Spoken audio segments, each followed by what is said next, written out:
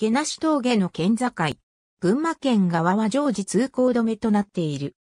地図長野県上高井郡高山村大技、高井付近群馬県道、長野県道112号、大前須坂線は、群馬県東郡妻恋村と長野県須坂市を結ぶ一般県道である。現在、妻恋村間又毛なし峠付近は普通区間となっている。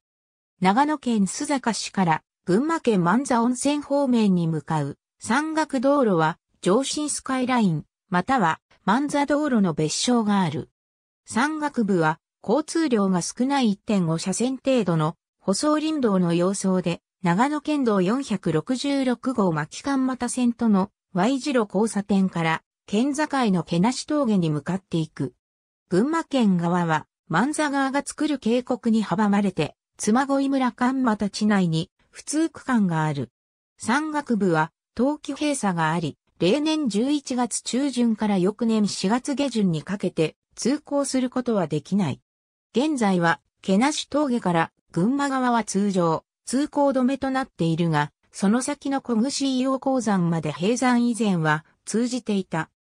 また鉱山半駅、その先の小串硫黄鉱山妻恋村線またも人道が作られ、一部の古地図上の点線等によりその軌道を確認することができるが、鉱山の閉山後に利用されなくなり、実質廃道となる。この廃道の軌跡を個人の有志が現地調査し雑誌やブログに投稿されている。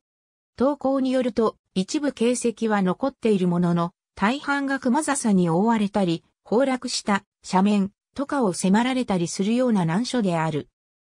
妻恋村高山村須坂市昭和34年群馬県国事第324号県道路線認定に関する国事 ABC 中村順一編2018 P75 ハイドウ行く ISBN 48億6320万1117 2008年10月31日第二次家なし調査隊京都大学体育会サイクリング部。HP 内家なし峠と小串鉱山遭難木村義義務なし 4HP 内ありがとうございます。